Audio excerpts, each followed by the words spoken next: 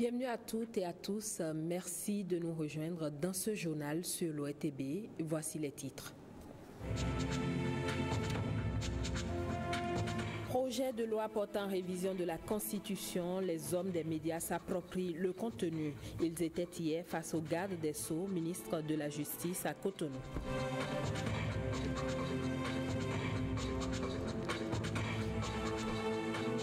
L'enseignement supérieur bientôt mieux orienté au Bénin. Le responsable de ce département a donné une conférence de presse au menu la délivrance et la reconnaissance des diplômes de licence et master. Et puis, troisième édition de la nuit poétique. L'événement a eu lieu ce vendredi au Centre culturel français de Cotonou. Son et images de ce festival culturel annuel dans cette édition. Le garde des Sceaux, ministre de la Justice, explique le contenu du projet de révision de la Constitution aux journalistes. Il a organisé à cet effet une rencontre d'appropriation dans un hôtel de Cotonou. Yves Godopessi, Daniel Ada et Jérôme Hongbo pour le point. À l'entame de cette séance, le garde des Sceaux a expliqué que le projet portant révision de la Constitution du Bénin est issu d'une démarche en quatre temps la consultation du peuple pendant la campagne électorale et à travers les travaux de la commission Djobenou, la concertation des acteurs politiques et socioculturels, l'arbitrage du gouvernement et la décision des représentants du peuple ou du peuple. C'est à l'occasion de l'approbation que l'on peut considérer deux autres voies. L'approbation par l'Assemblée nationale, les 4 5e, et à défaut, mais seulement à défaut, l'option du référendum.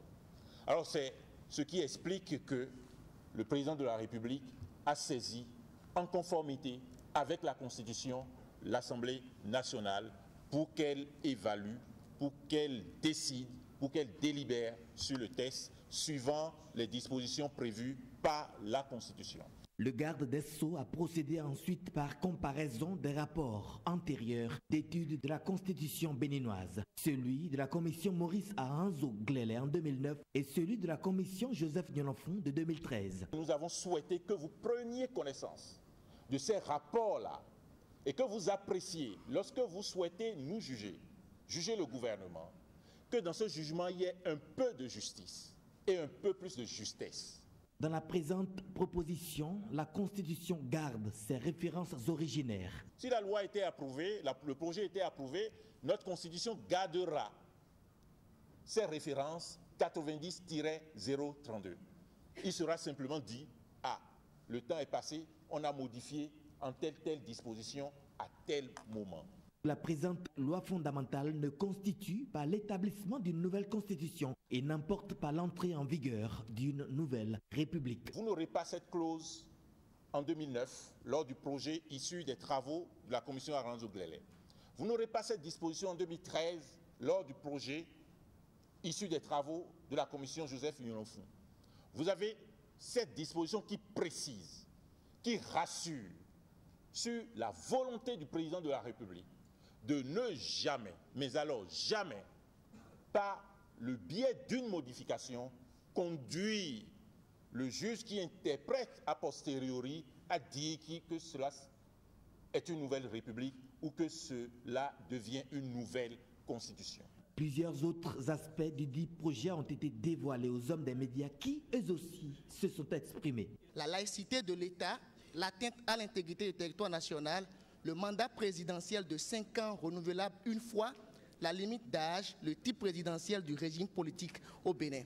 Je veux savoir pourquoi le garde des Sceaux n'a pas fait recours aussi à ces deux décisions qui viennent s'ajouter aux articles 154, 155 et 156. Est-ce que vous pensez aujourd'hui, Monsieur le ministre, que ce projet apporte un impact véritablement social? Avez-vous fait l'exercice que vous venez de faire devant nous, devant la représentation nationale Si oui, quelles ont été leurs observations et impressions au terme de l'exercice? Et sinon, est-ce qu'il est prévu que vous puissiez le faire donc devant nos honorables députés? Et justement, au même moment, les députés sont en tournée nationale pour expliquer le projet et recueillir les amendements y afférents. Que chacun se rappelle au moins que si l'amendement, les 4 cinquièmes ne sont pas obtenus à l'Assemblée nationale et que le projet doit être soumis au référendum, c'est le projet du président de la République qui est soumis, élagué de tous les amendements. Et donc nous avons tous intérêt à travailler à l'Assemblée nationale pour que, premièrement, les amendements qui sont nécessaires puissent être pris en compte et deuxièmement, pour que le projet soit adopté à l'Assemblée nationale à la majorité des 4 cinquièmes. C'est dans l'intérêt de chacun de nous et c'est dans l'intérêt de notre pays, de notre nation, de notre patrie. Le garde des a prévu organiser la même activité à l'intention des journalistes à Porto Novo. Révision de la Constitution, le débat est ouvert et pour vous permettre de mieux comprendre certaines dispositions qui font polémique, la télévision nationale vous propose une série d'interviews. Nous parlons aujourd'hui du mandat unique et c'est maître Luc Martin Roncanry qui nous entretient sur la question. De toutes les solutions, c'est la meilleure. Simplement parce que vous voyez notre pays comme disent souvent les fonds, à On ne peut pas remettre le pouvoir à une seule personne, à un seul clan, à un seul groupe qui en dispose tout le temps et pendant longtemps. Ça va susciter des jalousies et ça va créer des problèmes de mésentente dans le pays. Chez nous, si nous voulons avancer, il est bon qu'on réduise le mandat à un. Parce que ça permet de limiter, de réduire la corruption. Ça permet une bonne gouvernance parce que celui qui a le pouvoir peut disposer de beaucoup de choses et même piétiner la loi. C'est aussi pour permettre à, tous les citoyens qui aspirent à gouverner le pays dans n'importe quelle région d'avoir plus de facilité à pouvoir accéder au pouvoir suprême d'État. Et comme ça, on ne dira plus non, c'est le Nord seul qui gouverne, c'est le Sud seul qui gouverne, c'est l'Est qui gouverne. Nous aurons avec ce changement vraiment plus de facilité d'avoir des présidents de diverses régions. Les jeunes vont commencer par s'exercer à la politique et arriveront aussi aux affaires. Au lieu que ce sera seulement et les anciens ou ceux qui ont l'argent et on va passer, on passe le temps à se mentir et, à faire du mal aux autres parce qu'on veut conserver le pouvoir, parce qu'on veut garder le pouvoir pour seul, parce que le pouvoir a des privilèges. Dans l'enseignement supérieur, des réformes sont en cours. Le ministre de ce sous-secteur a donné une conférence de presse ce vendredi dans les locaux du ministère. Il était question de la délivrance et de la reconnaissance des diplômes de licence et de master. Plus de détails avec Gislain Bouguin et Alexis Segbemont. Désormais au Bénin, toute action dans le sous-secteur de l'éducation est gouvernée par une vision nouvelle. L'éducation est vue comme un intrant pour l'économie. C'est un facteur de croissance économique. Cette façon de voir les choses, explique Marie-Odile Atanasso, amène l'équipe gouvernementale à faire le ménage dans le domaine de l'enseignement supérieur. Là, les textes ne sont pas respectés, les normes de qualité non plus. Des filières s'ouvrent sans autorisation. Elles sont aujourd'hui 329 dans le privé. Des diplômes sont délivrés comme des cartons d'invitation. Les établissements privés d'enseignement supérieur délivrent les diplômes licence et master ce qui ne devrait pas être le cas, ne peuvent délivrer les diplômes équivalents au diplôme de l'État, c'est-à-dire licence master, que les établissements homologués. Si nous devons respecter rigoureusement les tests, aucun établissement privé d'enseignement supérieur ne peut ouvrir au Bénin. Il devient donc urgent de mettre fin à cet état de choses. Désormais, les établissements privés d'enseignement supérieur délivrent des attestations qui permettent à l'étudiant de postuler à un examen organisé par l'État pour l'obtention des diplômes de licence et de master. Nous allons commencer le premier examen cette année, 2017. Le deuxième aura lieu 2018, c'est-à-dire année scolaire 2017-2018.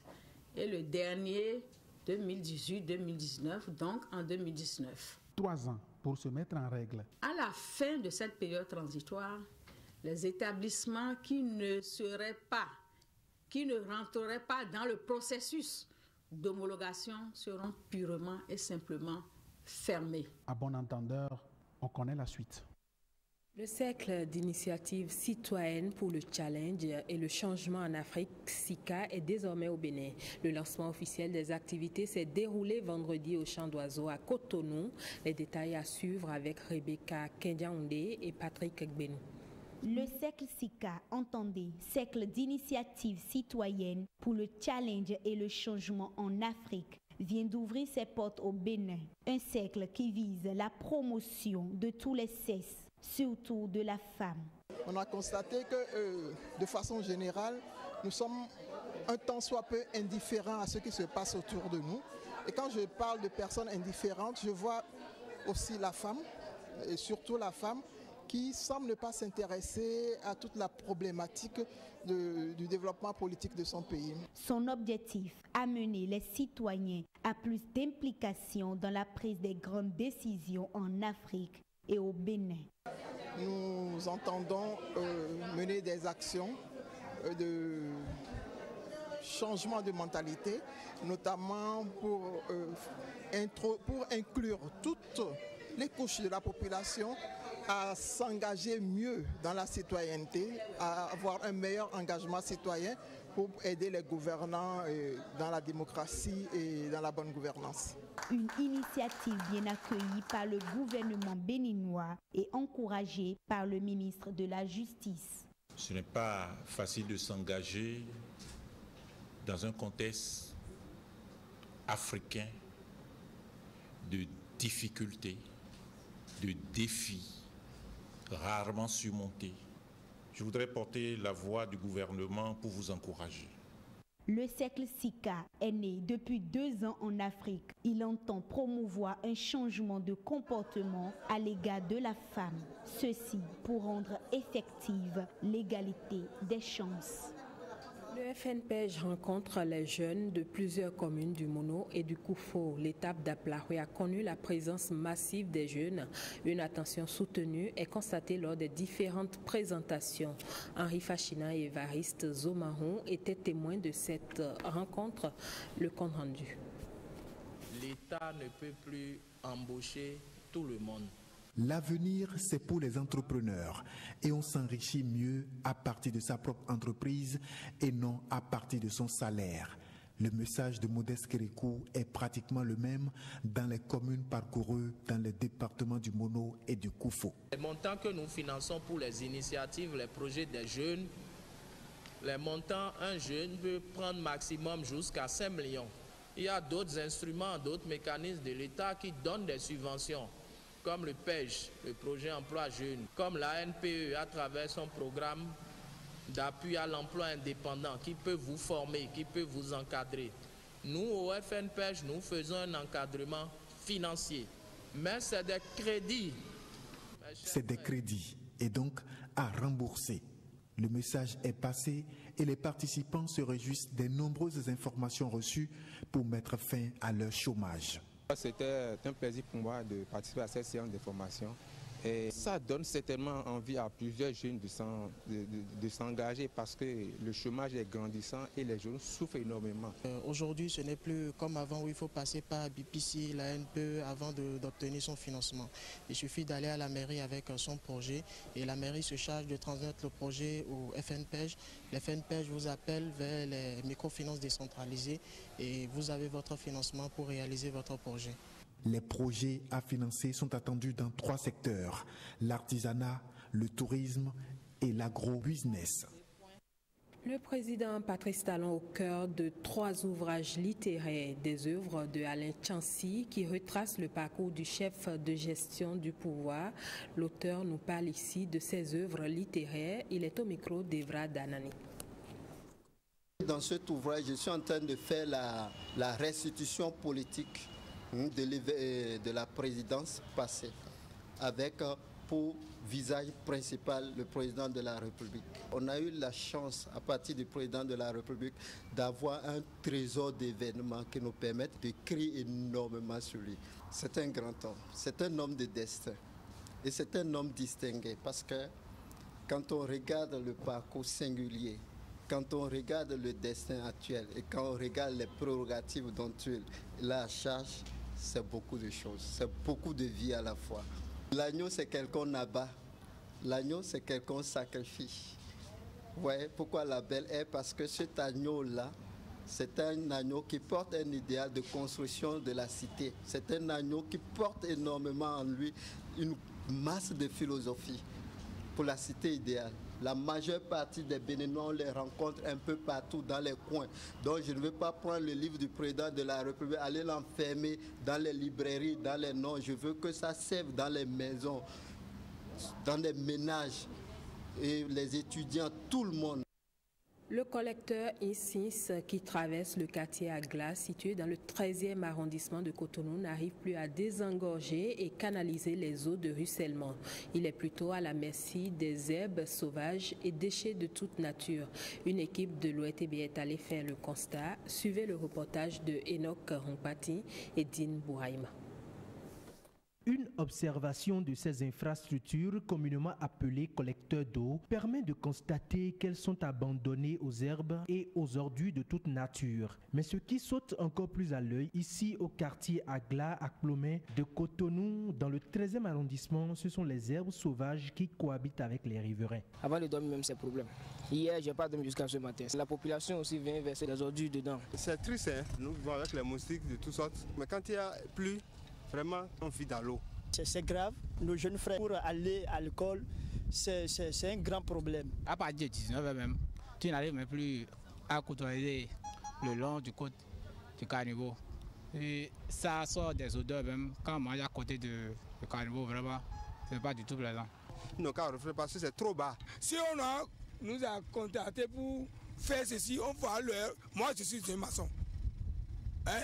Je vous je peux vous, leur, leur, dire comment on veut faire le caniveau. La nature n'est pas que cela dicter sa loi ici. L'incivisme des riverains y participe. Vous allez voir des dépôts euh, sauvages par-ci par-là tout au long de la voie pavée qui passe devant l'église, le commissariat.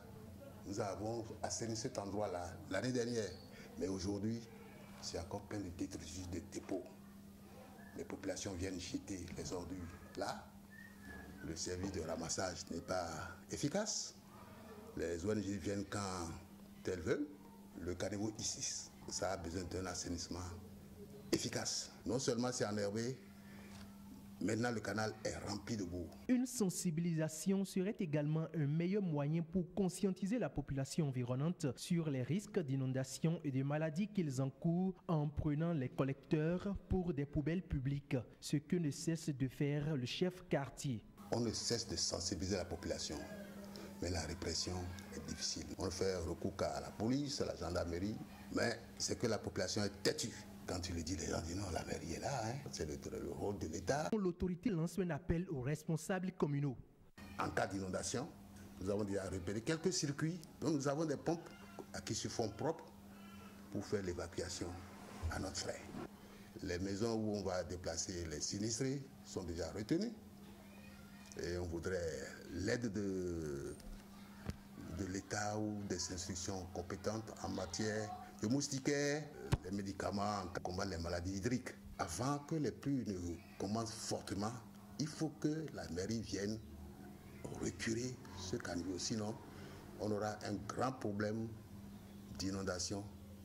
La saison des pluies s'approche à grands pas et les risques d'inondation sont très éminents. Le curage de ces collecteurs d'eau par les autorités compétentes devrait être une préoccupation majeure. Audition publique à Paracou des membres de la commission technique de retrait de permis de conduire. C'est une initiative du Centre national de sécurité routière qui vise à décider du sort des usagers de la route mêlés à des accidents de circulation. Une occasion aussi pour le directeur du centre de visiter quelques chantiers de route, Docas Tito et Olviga Messan pour le compte rendu. La commission technique spéciale de retrait de permis de conduire auditionne les usagers de la route impliqués dans des accidents de circulation. Une occasion de statuer sur le retrait ou non du permis de conduire. Il est question de dire aux chauffeurs si tu avais pris telle précaution, si tu avais conduit de telle autre manière, eh bien, l'accident n'aurait pas eu lieu. Désormais, donc, il faudrait que tu te conduises de cette manière sur la route pour éviter les accidents. Nous faisons, au fait, ce que nous appelons de temps en temps la formation post-permis. C'est-à-dire que quoi? Lorsque les gens viennent à la commission, lorsque tous les commissaires leur ont donné les conseils qu'il faut, nous avons des séances de recyclage pour eux. Le directeur du Centre national de sécurité routière profite de l'occasion pour visiter quelques chantiers de route. Le CNSR étant impliqué dans le suivi de réalisation des infrastructures routières. Le lieu où nous sommes, c'est l'intersection de Pébier. Nous avons remarqué que telle que l'intersection est, est, conçue, ça ne permet pas de gérer bien le, le trafic. Notre objectif en réalité, c'est non seulement attirer l'attention des techniciens, qu'ils puissent effectivement suivre les instructions et les prescriptions contenues dans leur projet, dans leur dossier déposé, et qui préalablement avaient reçu des amendements de la part du Centre national de sécurité routière. Et au-delà de ce que nous sommes en train de faire, nous allons poursuivre la sensibilisation. Les élèves du lycée Mathieu Bouquet de Paracou sont aussi sensibilisés sur la traversée de la route et le port de casque. Ceci dans le cadre du mois de la courtoisie au volant. Le chef d'état-major général des forces armées béninoises à la tête du haut commandement effectue une tournée de prise de contact et d'échange avec sa troupe dans les casernes sur le terrain. Objectif de cette descente, échanger sur l'amélioration des conditions d'exercice des troupes et leur mission. Ronald Robinson, jusqu'à Akbovi. Plus de cinq mois après son installation, le premier responsable du haut commandement militaire des forces armées béninoises effectue une descente vers les casernes du pays. Occasion pour une prise de contact avec la troupe sur le terrain afin d'échanger sur ses difficultés et les missions originelles et évolutives à accomplir. Aujourd'hui, le message parle d'amélioration des conditions de vie et de travail, amélioration de la gestion de personnel pour éviter les frustrations, appliquer les textes qui nous régissent. Donc tout ceci fait que le soldat sait que lentement mais sûrement, on l'amène à avoir plus de fierté, plus de dignité dans le port de la tenue treillis. Après avoir fait le tour des différents compartiments du camp Séropéra de Parakou, le chef d'état-major sort visiblement fier de sa troupe.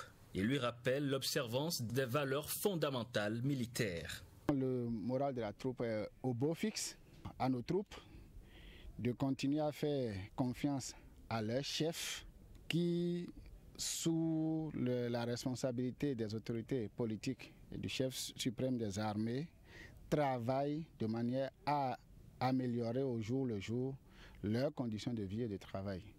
Qui dit militaire dit discipline et dit capacité opérationnelle, dit entretien et maintien en condition des matériels. Le périple du chef d'état-major des forces armées béninoises se poursuit vers le reste des autres troupes du septentrion. Au-delà de sa place de choix dans les représentations théâtrales, la culture rend plus attractive les différentes créativités. Les acteurs des théâtres béninois en sont convaincus. Koudous Abdoulaye et Bruno Rotekbo nous en parlent à travers ce reportage. Geste unanime pour lancer cette scène. Vous êtes mon palais, mon soir et mon automne, et ma voile de soie, et mon jardin de lys, ma cassolette d'or. La cible est plongée dans l'embarras.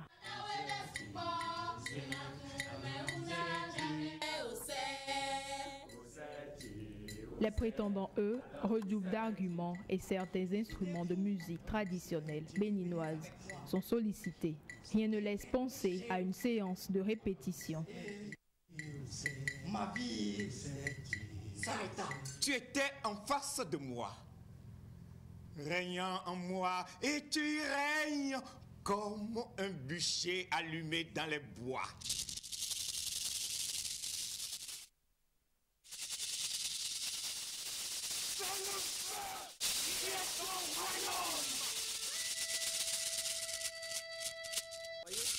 L'instrument, le tchékéré, c'est un instrument fondé vraiment par les Yoruba. Et quand on doit faire danser le roi, c'est cela qu'on utilise. Le roi Yoruba par excellence aime bien bouger son corps par cet instrument, le bruit de perles sur la calebasse. Dans cette école de théâtre à Cotonou, la culture est mise au devant de toute représentation théâtrale. En bon apprenant, les étudiants prennent le pli et reconnaissent la force de la culture dans les créations théâtrales. La culture est très capitale euh, pour euh, supporter, pour euh, qu'on doit faire recours pour le théâtre contemporain. Pour moi, c'est d'une importance de de ramener ou d'intégrer notre tradition à ce que nous faisons. Parce que, avant tout, ce que nous créons, le travail que nous faisons, s'adresse à l'endroit de notre peuple. Pour moi, c'est comme la télé. C'est comme la télé pour diffuser et faire la publicité donc, de la promotion de la culture. La culture valorise les représentations théâtrales les renforçant ainsi dans leur mission d'éducation et d'éveil de conscience. C'était donc un reportage de Koudous Abdoulaye présenté par Mylène Fanou. La Nuit Poétique est un festival culturel qui s'organise chaque année. La troisième édition a eu lieu avant-hier à l'Institut français de Cotonou, une occasion pour les différents acteurs de célébrer la poésie. La musique, l'art plastique et la poésie c'est un mariage artistique qui caractérise cette édition 2017 de la Nuit poétique. Il y a une véritable mise en scène, euh, mise en espace aussi, parce que vous avez vu, il y a par exemple le décor et la sculpture vivante, et aussi euh, le, body painting et le live painting que le plasticien et le modèle ont, réalisé pour enrichir dans cette nuit. Un spectacle riche qui a permis aux poètes nationaux et internationaux présents de dire les mots et les textes avec une originalité sans pareille. Au plus profond de l'être se dessine une cassure que ni l'alcool ni l'artifice des rires n'arrivent à ensevelir. Et dire que les mots de l'aliénation se sont inscrits en faux pas. Il est perdu dans ce quartier, galaxie qui est la mienne. Il presse pas, je le suis, mais il m'échappe. Cette initiative va perdurer dans le temps et permettra aux différents acteurs de se retrouver dans un même creuset. Déjà, nous pensons à la création d'une résidence internationale dans le cadre justement de, ce projet. Et donc, nous allons créer une résidence et recevoir euh, au sein de cette résidence des poètes pour des créations d'œuvres poétiques. Un grand rendez-vous qui fera désormais du Bénin le carrefour de l'art et de la culture. L'artiste chanteur Dibi Dobo est de retour après quelques mois d'absence pour raison de santé. Le chanteur de la musique béninoise prépare un géant concert inédit avec la présence de plusieurs stars internationales. L'artiste tient à dire qu'il réserve une surprise au public béninois. Écoutons-le ici sur des propos recueillis par William Choki. Ni que ferais-tu? C'est un show de rêve, tu vois, un podium, un spectacle. Il y aura de l'artifice. C'est différent de ce qu'on a vu jusque-là au Bénin. En tout cas, c'est la première fois que cela arrive. Et la, magie de cela, c'est qu'il y aura la participation de toute la crème musicale. Euh, les artistes du pays soutiennent l'événement. Et il y a les guests qui sont sur l'album aussi qui seront réellement euh, présent sur l'événement d'une façon ou d'une autre. Je vous parle de, la diva Angélique Kidjo, je vous parle du baobab, de la musique béninoise, Sabouran Danielou, mon, parrain, mon papa même. Et hum, il y aura du Nigeria, la big star Mr. Mehdi, de la France, il y a Kalash et puis il y a la belle et sexy sexy Lincha. Moi je suis amoureux de ma copine, elle c'est Anita. Pek Perero, Buenani, Pek Perero. Moi je suis amoureux de ma copine, elle c'est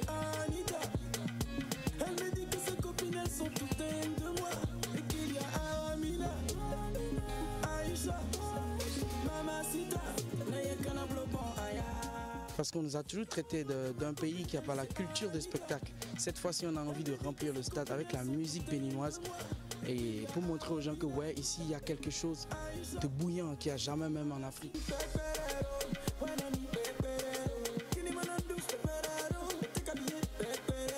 Ça se passe le samedi 15 avril à 17h17 au stade Mathieu Kérékou de Cotonou. Le feu Ne rate pas mon pote.